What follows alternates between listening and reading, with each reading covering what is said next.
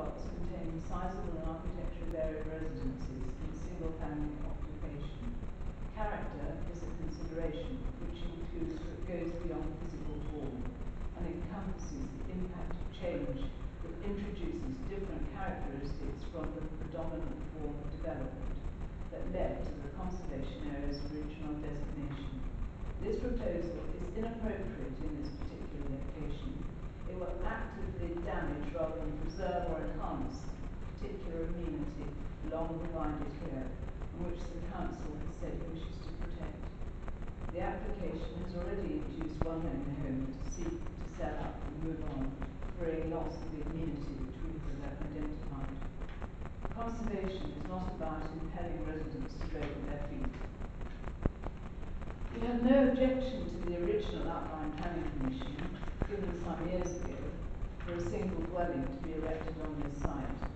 However, we did object to the previous application because of the size of the de- development was quite blatantly designed as three apartments. The planning committee rejected this